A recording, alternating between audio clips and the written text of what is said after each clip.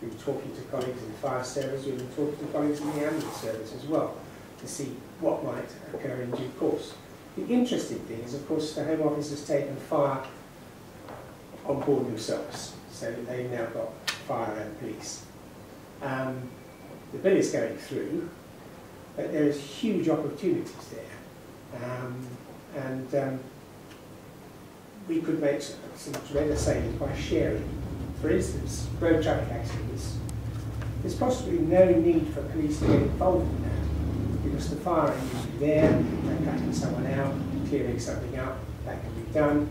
With the new camera system you've got, you don't have to measure things, it does it all for you and you do it in the computer when you get back.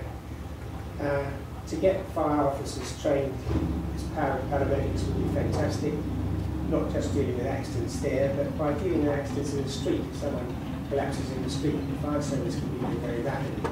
And this actually would help the ambulance service. This is why we're looking to like all in. I think there are enormous savings to be made on that front.